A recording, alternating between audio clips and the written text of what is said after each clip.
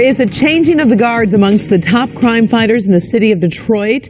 A new person has taken over the area's FBI's man in charge, and he's ready to keep fighting corruption in Metro Detroit. Local 4 defender Kevin Dietz joins us now live in downtown Detroit. So, Kevin, tell us more about this man. Karen, I spent some time with Robert Foley, and I think you're going to like him. He's a Boston native who comes from the Washington office. He has a ton of experience, and he says he's ready to roll.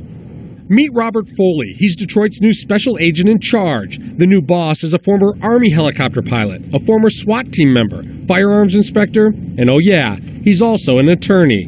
He's smart and fearless. He says he'll pick up right where newly retired FBI boss Andy Arena left off. Number one priority under our national security program, of course, is uh, to prevent and detect uh, terrorism. And our number one priority in the criminal program is uh, combat public corruption. In a town that has seen both an attempted terror attack by the underwear bomber and one of the country's largest public corruption cases, Foley has all the right moves. My skill set, uh, what I bring um, with respect to my um, investigative past with public corruption, uh, counterterrorism, and other uh, investigative activity um, is very compatible with uh, what I think is um, a way in which I can serve um, this field office and the, and the citizens of Michigan.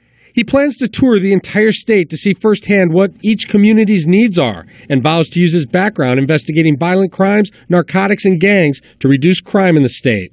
He says it's a big job, but the current team in place has been executing well and making tremendous progress. Those with good ideas and those who want to work hard can move forward without worrying about uh, corrupt activity uh, stopping them or getting in the way.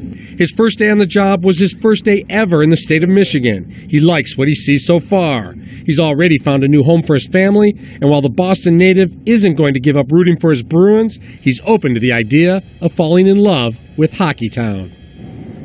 And outgoing boss Andy Arena speaks very highly of Foley. Foley is wasting little time. He's already been over to meet U.S. Attorney Barb McQuade and several other law enforcement officials in this area. He says he's ready to go right now, day one. He's interested in continuing the effort to clean up the state of Michigan. Reporting live in Detroit, Kevin Dietz, Defenders.